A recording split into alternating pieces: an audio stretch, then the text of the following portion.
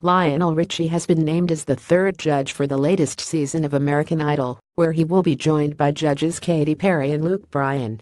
The news of Richie's addition to the reality show came just days before the revamped singing competition was to begin filming its live auditions.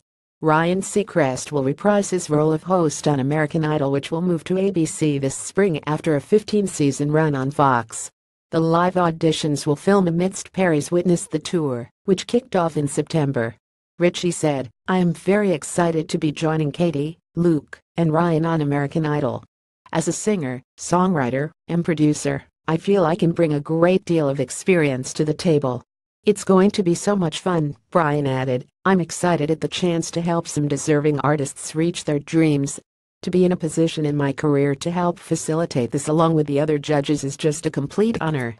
It's gonna be a blast the new American Idol, which ABC dubs as bigger, bolder, and betorthanaver than the version that bid farewell in April 2016, will begin broadcasting in March, noted Rolling Stone.